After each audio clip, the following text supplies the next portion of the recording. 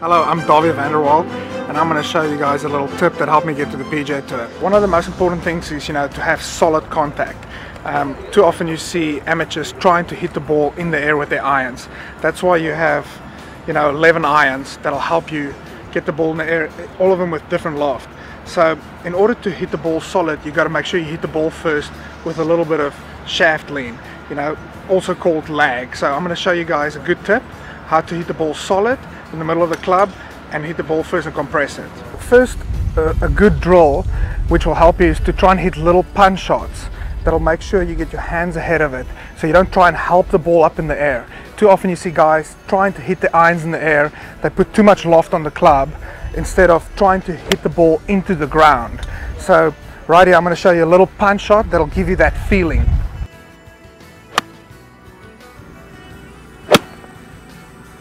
What I'll try and feel is like the club stays behind your hands and your hands lead the way and you hit it like this. So you don't want to feel like the club is casting, you want to feel like it's staying behind you so you can hit the ball first and hit down on it. Hitting uh, punch shots like that will help you improve your ball striking, make sure you hit the ball solid and control your distance much better.